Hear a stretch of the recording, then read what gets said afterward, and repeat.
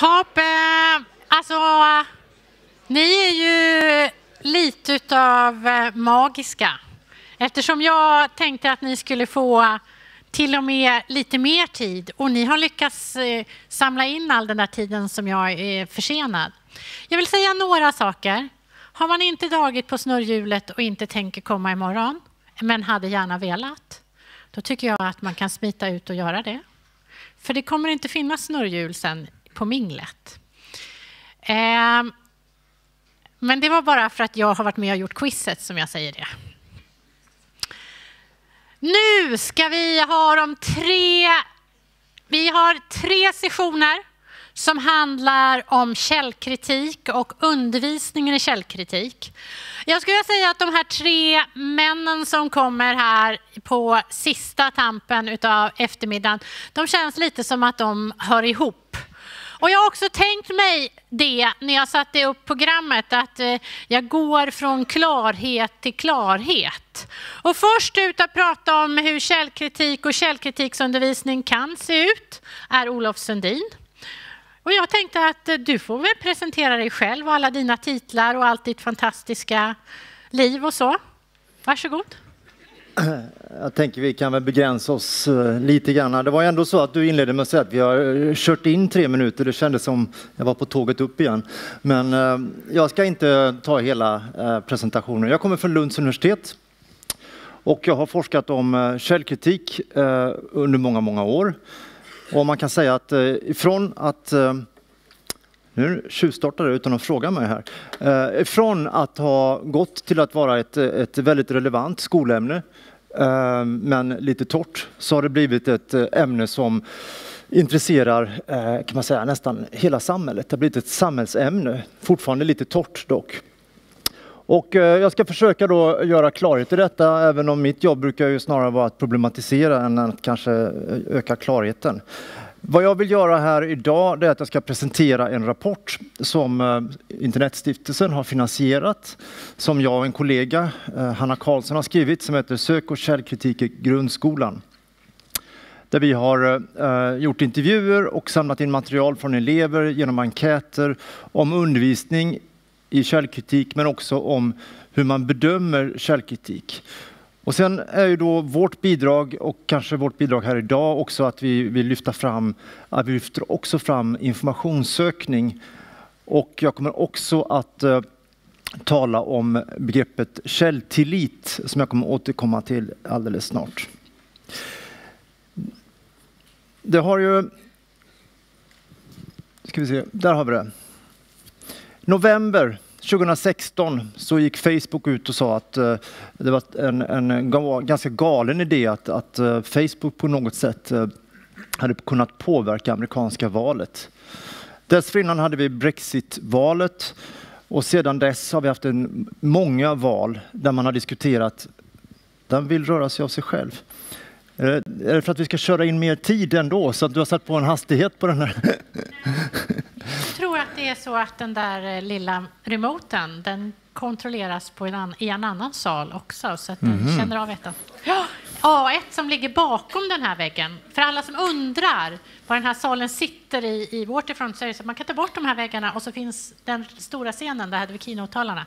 Och där har de nämligen en session, så jag tror det är därför det, det är därför den sprutar på.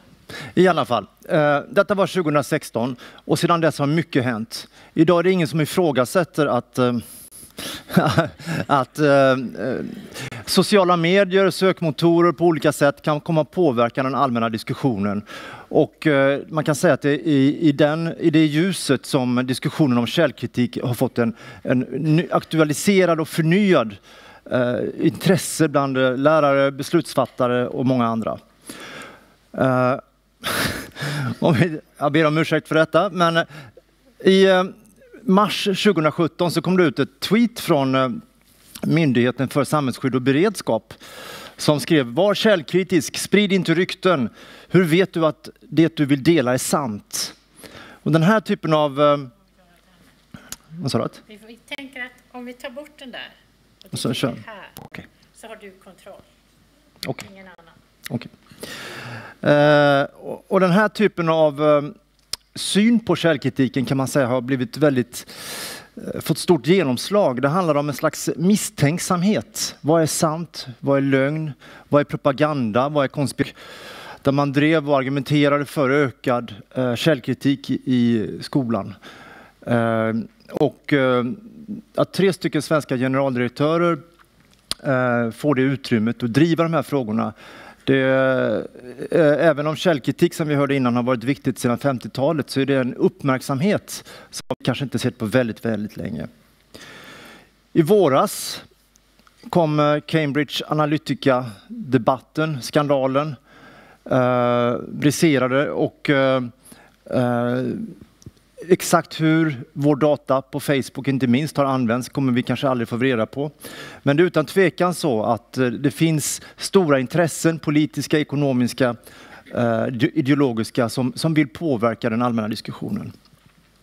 Ni kommer också ihåg från i våras hur eh, Google råkade ut för mycket kritik i Sverige genom att de länkade till en blogg med en, en antisemitisk eh, lista på svenska med en judisk bakgrund. Eh, och eh, det blev eh, en kritik och till slut, efter mycket om och men, så valde Google att, att ta bort länken till listan. De kan ju naturligtvis inte ta bort bloggen, men de kunde ta bort länken. Eh, så att eh, de här frågorna har verkligen fått mycket uppmärksamhet. Och eh, det är inom också den här ramen vi måste förstå källkritik och också för den delen informationssökning i den svenska skolan idag. Om dagens skola är ett resultat av eh, en, en tillstånd där information i mångt och mycket har varit en bristvara traditionellt sett, så har vi nu under ett antal år gått till ett radikalt förändringsläge där det nu finns ett överflöd, där, vi, där vem som helst kan få stöd för i princip vad som helst, när som helst. Samtidigt som vi många gånger lär ut att du ska inte lita på någon. Det är en situation där, som är, där det råder tillitsbrist i väldigt stor utsträckning. Inför valet så var det ett antal svenska massmedier, inklusive public service, som bestämde sig för att samarbeta för att eh, faktachecka olika påståenden i debatten. Bland annat så väckte det uppmärksamhet när man, eh, när man då faktacheckade ifall förintelsen hade ägt rum. Vilket ju en del tyckte att ska man verkligen behöva faktachecka det?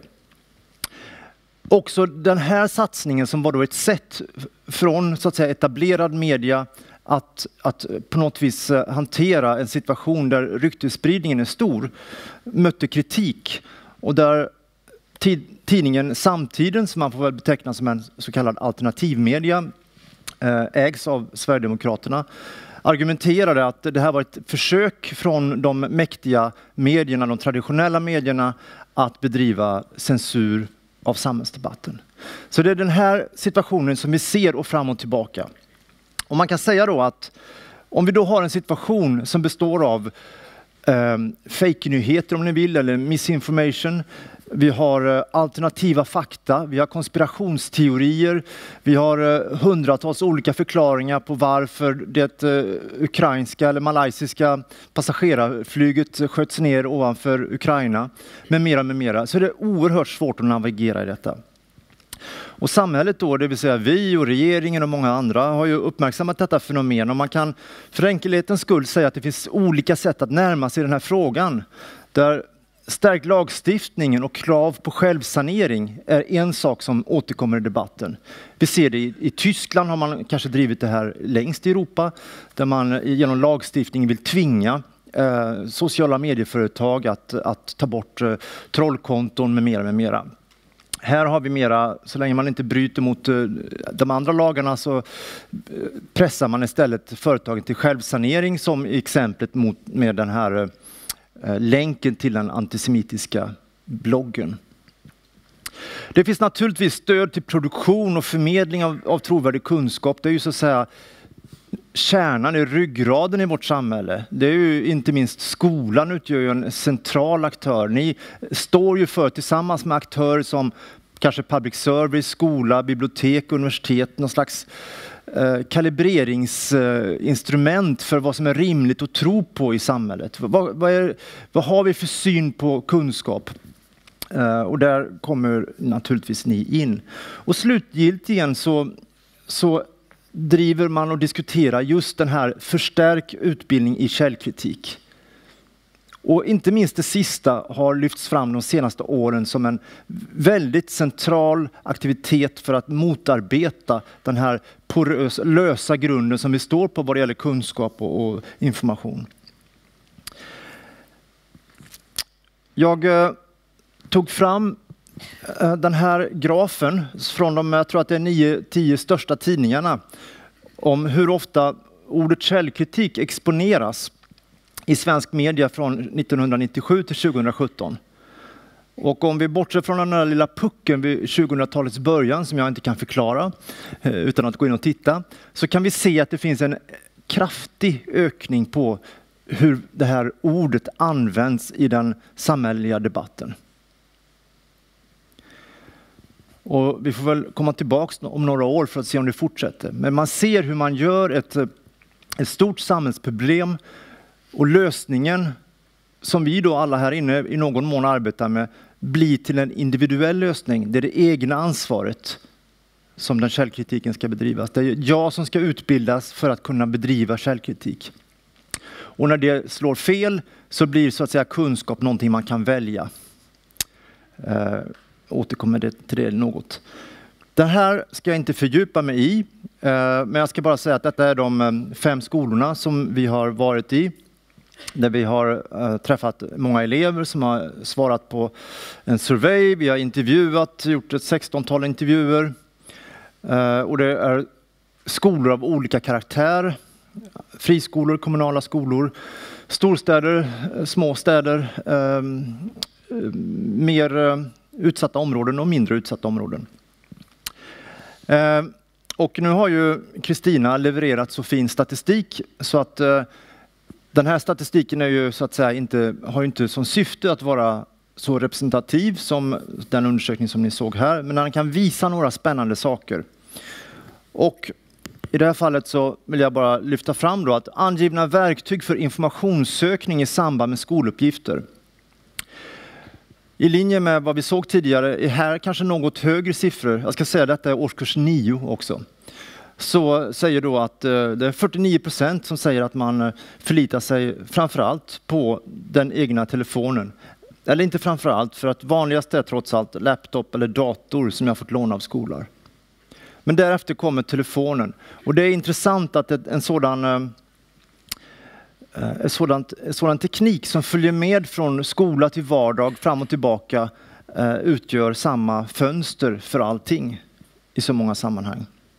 Och där ser vi hur, hur den stationära datorn i klassrummet utgör i princip 2,5 procent. Och det är ju en, en gammal teknik så att säga. Men det är ganska intressant för det innebär också att mycket av det som elever gjorde när det var skolklassrumsdatorn eller biblioteksdatorn, som användes, då var det på ett annat sätt synligt för lärare, för bibliotekarier. Medan nu har de här aktiviteterna blivit mobila och kan göras var som helst, eh, vilket ju är på många sätt fantastiskt. Men det gör också att den blir mera, på ett sätt, osynlig. Om vi tittar på istället eh, tjänster för informationssökning i samband med skoluppgifter så är det de här eh, översta tre som inte så förvånande dominerar. Möjligtvis att i det här sammanhanget att ne.se var överraskande hög siffra. Men det är Google och gärna då i relation och kontakt med Wikipedia eftersom det ena leder till det andra. Och eh, man kan då eh, uppmärksamma också särskilt eh, Youtube naturligtvis som följer med eleverna från vardagen och blir också en viktig tjänst i skolan. Det är inte enbart en, en vardagstjänst, någonting man roar sig utan det är något som eleverna använder också för skolan. Och ett citat som kommer här då från en elev som är synnerligen då reflexiv och kanske inte därmed representativ men ändå intressant. Jag brukar använda ne.se e eftersom hemsidan är väldigt pålitlig och vi har blivit rekommenderade att kunna använda oss av den källan. Själv så använder jag också Wikipedia eftersom plattformen är så pass stor och oftast när man söker på någon information så kommer alltid Wikipedia upp som första alternativ. Jag är en otroligt reflexiv person. Det det är många saker som är intressanta. Det intressanta är att det är inte innehållet i informationen som den här eleven talar om. Utan det är att å ena sidan har de blivit positivt rekommenderade att använda Wikipedia, en slags rekommendation. Å andra sidan, i Wikipedia-exemplet så är det snarare tekniken som rekommenderar dem att använda Wikipedia. Och det, I andra sammanhang har vi talat om det att, att, man, att källkritiken många gånger, när man förlitar sig på Google och Wikipedia, vilket ju de allra flesta gör, är utlokaliserad till algoritmen som Google använder. Eftersom man i praktiken inte granskar så kritiskt utan man litar på vad, Wiki, eller vad Google levererar som högst upp i sin resultatlista. Så källkritiken är många gånger outsourcad till tekniken. Eh, om vi tittar på elevernas självupplevda förmåga och de här siffrorna vi har stämmer ungefär överens också med många andra. Det är att eh, de allra flesta tycker om att de är bra eller helt okej okay i alla fall, jättebra eller helt okej, okay, på att söka efter nyheter, fakta och information till skoluppgifter på nätet. Eh, väldigt höga siffror. Något eh, eh, mindre höga blir de om man talar om istället eh, eh, om man kan lita på det. Alltså någon slags källkritisk granskning med, med eh, utifrån, tror ni det är sant eller är det rimligt? Va? Så där skiljer det sig lite grann åt. Och där kan man säga att det här stämmer överens med många undersökningar som Skolverket har gjort med mer att, att elevers egen uppfattning av sin förmåga är väldigt hög och när man gör motsvarande intervjuer med, liknande med lärare där man visar de här siffrorna och, och ber dem reflektera över dem så kan de inte riktigt begripa att de är så höga alla gånger. Eh, några citat eller några sammanfattningar av elevernas bild av undervisningen. Det är att de allra flesta menar trots allt att de har fått undervisning om källkritik, även om den kanske inte förekommer så ofta och informationssökning och att de säger att den är användbar i skolan. Men av fritextsvaren så visar det att det handlar i regel om det vi kan tala om som traditionell källkritik. Det är upphovsman, det är tid, det är eh, tendens och beroende. Klassiska källkritiska kriterier som vi ofta använder i historia men också i andra ämnen. Eh, vem har skrivit det? Är det en privatperson, en sökmotor, uppslagsverk, professor? Hur gammal är faktan? Vad är syftet med hemsidan? Vad för typ av information är det? Flertalet, flertalet av eleverna tycker att de har användning av skolans undervisning under fritiden. Men samtidigt då så är det uppenbart när man läser de här svaren att med informationssökning och källkritik så associeras det till skolan. Det är skolaktiviteter. I vår undersökning var det svårt att ta på det mer än så. Men jag skulle ändå tro att, att de här begreppen informationssökning och källkritik är ganska knutna till skolan. Om än att de här siffrorna kanske nyanserar det något. Vilket av följande verktyg brukar du använda på fritiden? Samma sak där, där går ju då telefonen upp eh, något lägre än, än, som vi hörde tidigare här, men ändå väldigt höga siffror. Medan, eh, och det var bara för, nästan för skojs skull, sen vi hade med familjens gemensamma dator som känns som en relik från, från 90-talet. Det förekommer ju knappt längre att man har en gemensam dator på mammas eller pappas skrivbord. Liksom. Utan eh, även här ser vi att eh, datorn och därmed internettillgången är mobil och eh, i mångt och mycket individuell, en aktivitet eh, som man inte ser i så stor utsträckning. Om man tittar på lärarrösterna då, så får jag bara kort ge några citat, sen ska jag sammanfatta det sen. Här är en lärare eh, som säger att ja, det har främst varit historia som jag har jobbat med källkritik. Att man tittar på det här, de källkritiska begreppen. Jag ska säga det att det var lärare, urvalet av lärare gjordes på att de skulle undervisa i svenska och de skulle undervisa i något samhällsvetenskap. Men sen hade de ju många andra ämnen också. Men här är ett exempel på hur man definierar källkritik som något traditionellt, gärna då kopplat till historia. Här är en annan lärare som uttalar sig om bedömning. Vad, vad, vad, vad kännetecknar en, en bra, bra källkritik? Ja, för det första så har en A-elev alltid många källor. Självklart. Och när den granskar källorna så en A-elev hittar alltid vad som skulle göra den källan mindre trovärdig. Och sen så skriver man att den visar nästan alltid båda sidorna. Men det är just den kritiska blicken som är det viktiga. Eh, Eh, jag skulle kunna göra en uppgift om det, om då informationssökning och källkritik. Det skulle jag, men jag har inte gjort det. Det var inte alltid, det fanns också en, hos särskilt en lärare vi intervjuade, en medvetenhet om de här frågorna, men, men där hen då valt att inte göra detta till ett tydligt undervisningsinnehåll. Uh, och när man frågar då om, ja du talar mycket om källkritik, men i, i svenska till exempel står det ju väldigt mycket om informationssökning. Då får vi i de allra flesta fallen eh, svar om att ja, det har vi inte talat om. Det är någonting som bara eleverna gör, men det görs ytterst sällan till något eh, som man faktiskt undervisar om, utöver några korta eh, knep och knåpregler för hur man kan göra. Och sista citatet här. Vad är då källkritik? var den här frågan. Ja, att man inte ska lita på det man ser eller hör. Det är det första jag tänker. Lita inte på någon säger eller skriver. Det är det första man ska prata om när det gäller källkritik. Och det är klart att om man ger eleverna det här, va, då, då blir det ju svårt att hantera en eh, diskussion i samhället för att ingenting kan man ta för givet utan allting kan utsättas för källkritik.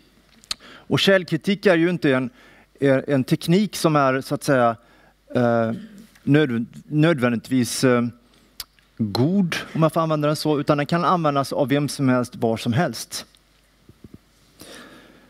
Om vi ska sammanfatta eh, olika sätt att undervisa om käll och sökkritik i skolan så kan man då säga att Ja, dels så kan, har vi flera exempel på där man behandlar det som isolerade kunskaps, kunskapsinnehåll, där man bockar för det i enskilda ämnen. Man kanske gör en övning då och då eh, i historia och sen gör man en i svenska. Och, eh, eller så kan man se det mer som integrerat i, i ett annat kunskapsinnehåll, vilket jag tycker är betydligt lämpligare, om jag får ha en åsikt i frågan.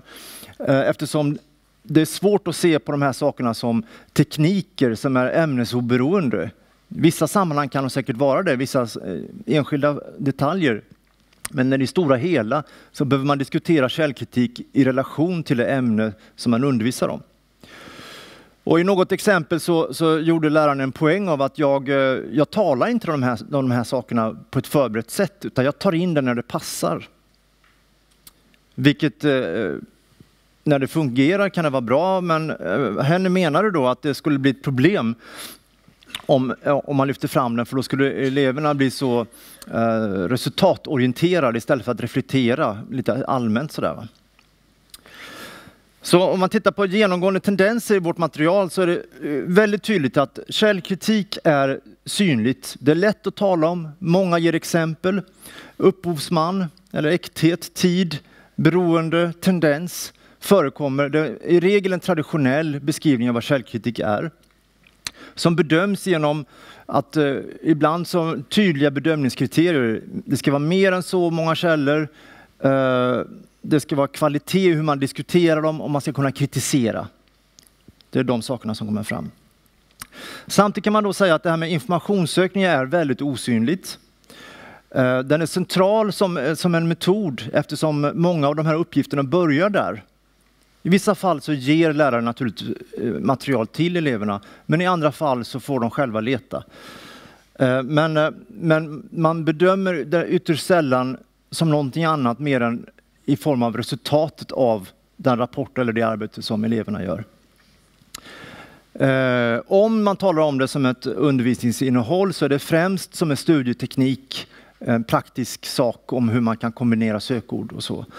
Men man eh, diskuterar inte hur Google eh, i mångt och mycket har transformerat hela synen på vad kunskap är och hur man prioriterar kunskap eh, och vad som eh, blir synligt, vad som blir osynligt eh, i, när man söker uppgift, information till en uppgift.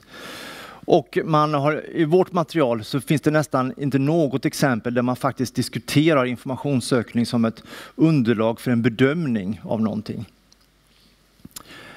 Eh, så några slutsatser då av detta, det är att eh, skolorienterad källkritikundervisning, det finns mycket skolundervi eh, skolundervisning som handlar om källkritik, men den är traditionell i regel. Det finns däremot ganska liten av vad, vad man kan kalla för då en kontextualiserad källkritik där man sätter in källor i ett digitalt sammanhang. Där, där källorna får en betydelse som de ges på internet. Eh, man kan tala om sökkritik. Vad är det som gör att jag faktiskt får del av de källor och den information som jag får? Vad är det som gör att mitt flöde ser ut som det gör medan min kompis flöde ser ut som det gör? Vad är det som gör att vi, vi får ta del av material som vi kanske på förhand inte ens ville ta del av? Och det är ju det här med att informationssökningen är osynlig som ett undervisningsinnehåll. Um, och uh, en annan sak som jag tycker man måste diskutera i det här sammanhanget, det är källkritikens gränser. Blir det, blir det alltid bättre ju mer källkritiska vi är? Är källkritik alltid det medel vi ska använda? Eller är det så att vi ibland har för mycket kritik när vi talar om källkritik? Och det är då jag har lekt med ordet källtillit. Att det kanske är, jag vet att många lärare talar om, om det fast de inte använder det begreppet. Men att man också som parallellt med källkritiken faktiskt talar positivt om källor man använder. Och förklarar också varför. Varför är det, är det rimligt att, att man har någon slags tillit till vissa källor medan man kanske ska vara försiktiga med andra? Inte bara någon slags eh, varningsskyltar utan man förklarar och, och, och ger elever en förståelse för hur kunskap formas. Eh, man förstår vilket arbete som ligger bakom välutvecklad artikel på Wikipedia eller i NE eller liknande. Så att jag skulle vilja komplettera då källtillit med, eh, en källkritik med källtillit i det sammanhanget.